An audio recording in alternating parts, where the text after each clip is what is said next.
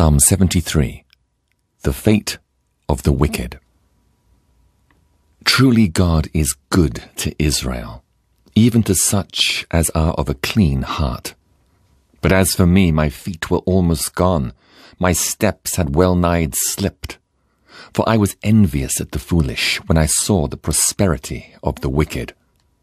For there are no bands in their death, but their strength is firm. They are not in trouble as other men, neither are they plagued like other men.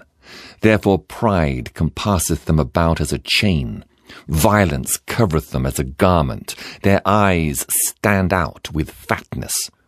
They have more than heart could wish. They are corrupt and speak wickedly concerning oppression. They speak loftily. They set their mouth against the heavens, and their tongue walketh through the earth. Therefore his people return hither, and waters of a full cup are wrung out to them, and they say, How doth God know? And is there knowledge in the Most High? Behold, these are the ungodly who prosper in the world. They increase in riches. Verily, I have cleansed my heart in vain and washed my hands in innocency. For all the day long have I been plagued and chastened every morning. If I say, I will speak thus, behold, I should offend against the generation of thy children. When I thought to know this, it was too painful for me. Until I went into the sanctuary of God, then understood I their end. Surely thou didst set them in slippery places. Thou castest them down into destruction. How are they brought into desolation as in a moment? They are utterly consumed with terrors.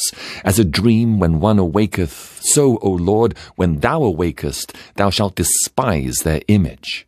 Thus my heart was grieved, and I was pricked in my reins. So foolish was I and ignorant, I was as a beast before thee. Nevertheless, I am continually with thee. Thou hast holden me by thy right hand. Thou shalt guide me with thy counsel, and afterward receive me to glory. Whom have I in heaven but thee? And there is none upon earth that I desire besides thee. My flesh and my heart faileth, but God is the strength of my heart and my portion for ever. For lo, they that are far from thee shall perish. Thou hast destroyed all them that go a whoring from thee.